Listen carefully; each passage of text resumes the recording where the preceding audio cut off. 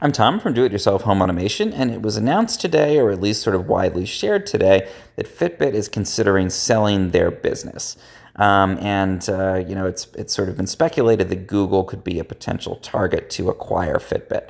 And you know, I think this makes a lot of sense. So I've been saying for a while now that I've seen Fitbit moving away from hardware um, and more towards services. So we saw earlier this month the launch of Fitbit Premium, where they're instead of selling you a tracker every couple of months or years, a hardware device, they're focusing more on selling you an ongoing subscription data service where they're analyzing your data from the tracker and giving you recommendations and personalized feedback, like the feedback you see at the top of the screen here in their app. Um, you know, really detailed sleep tracking and that kind of thing. And I think this is a big shift and one that makes sense for Fitbit. Um, and you know the reasons for this really go back to the origins of the company.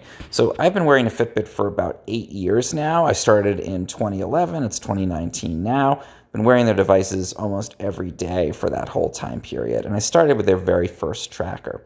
Um, and when that came out, it was really a hardware revolution. Uh, it was basically the first device that would accurately track steps and give you an ability to sync that data uh, and you know view it and analyze it. And really, the only competition at the time were these really cheapo pedometers you get at the drugstore. Um, they had a little digital readout, and they track steps for you know if you if you swung your arm or you sat down in a chair.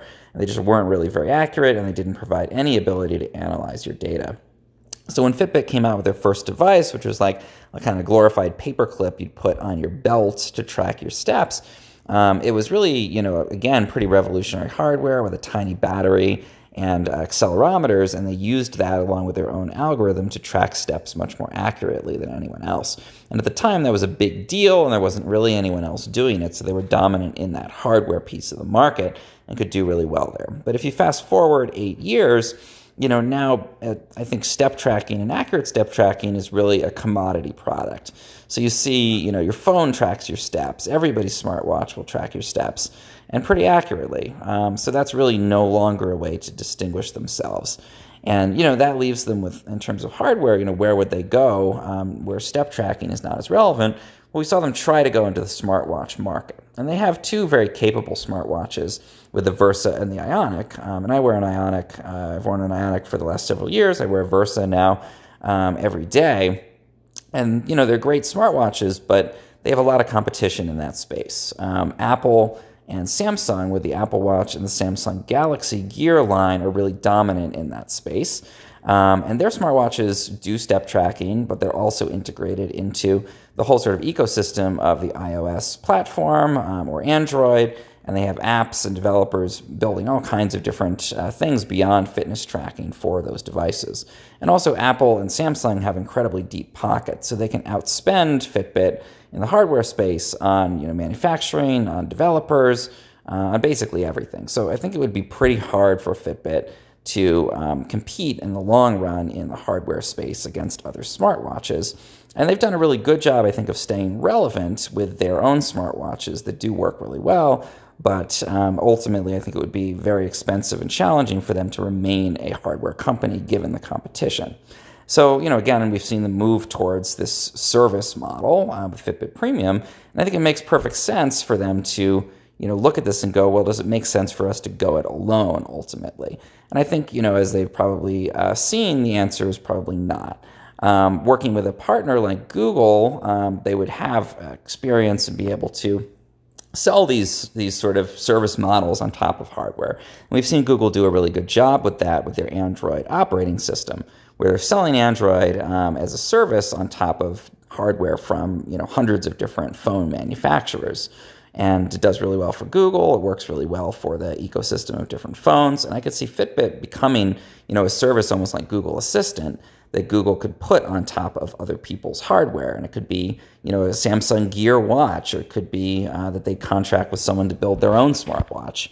Um, they're a big tech company. They don't have their own smartwatch versus Samsung and Apple do. So maybe they'd want to create their own hardware and then, you know, use Fitbit as the software layer on top of that. Um, a couple other things that make sense, uh, you know, for this sort of merger or acquisition um, if Google did acquire Fitbit, they'd be getting you know almost a decade of user data. And Google's whole business model is built around analyzing and monetizing user data for advertising. So being able to look at people's heart rates and step counts and all of that kind of information for a decade would really be, you know, a, a big uh, benefit, I think. And Google would probably find ways to monetize that data that Fitbit would not be able to as long as users are okay with it. Um, so that's a big piece. And then I think the other thing that Fitbit has at this point that's not a commodity product is their sleep tracking. Uh, their sleep tracking algorithm is excellent. They've done a great job of uh, building this out. They're probably going in new directions, like looking at sleep apnea. We just saw the launch of their sleep score, which I think is a great metric, uh, as I've shown in other videos. And you know, no one else really has a a great uh, sleep tracking algorithm for smartwatches. Even Apple doesn't do that natively at the moment. So that's a uh, distinguisher that uh, I think Google could probably do, again, a really great job of monetizing. So we'll see how this goes. Um, you know, as, a, again, a long term user of Fitbit, I think it's probably a good direction for the company ultimately. Um, I'd hate to see them go the direction of, you know, action cams, for example, where there were whole companies like Flip Video built around action cams, and then we saw when you know smartphones uh, started to have really good cameras, you know that that whole industry really became a lot less relevant. Um, and I think an acquisition by a company like Google could make a lot of sense for Fitbit services long term. So it's something I'll be following, um, and uh, you know check back here for more information uh, on it. And, uh, you know, let me know in the comments what you think of this possibility. If you found this helpful in any way, please subscribe to my channel. It really helps.